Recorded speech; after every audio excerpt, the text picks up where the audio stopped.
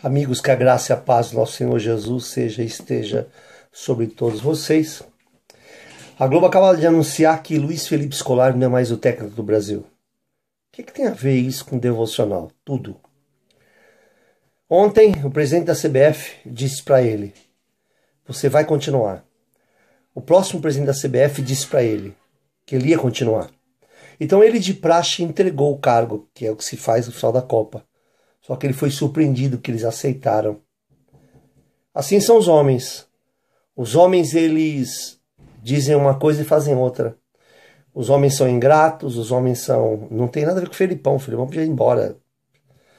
Então, eu não teria nem chamado, mas uma outra história. Eu quero falar das pessoas, como elas nos tratam.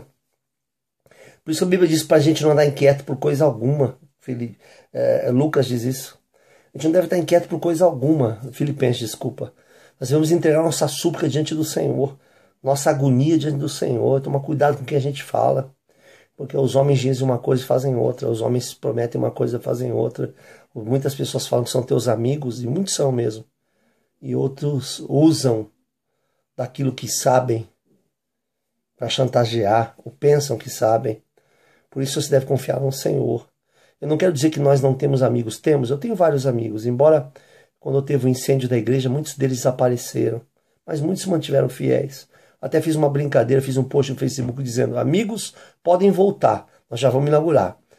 Né? Foi uma picardia, uma ironia, e não foi uma indireta, foi uma direta mesmo. Eu não gosto de usar o Facebook para outra coisa, mas não estou decepcionado com ninguém, não. Às vezes acontece isso.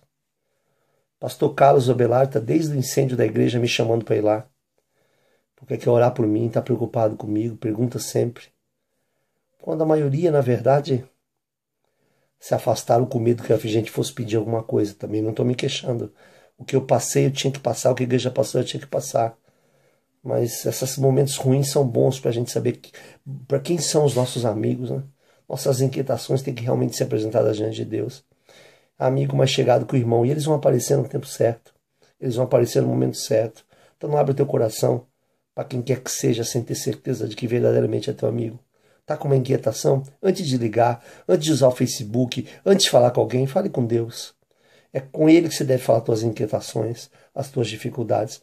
E Deus vai suprir você, inclusive com um amigo decente, um bom ouvinte e um bom conselheiro. Senhor Deus te abençoe em nome de Jesus.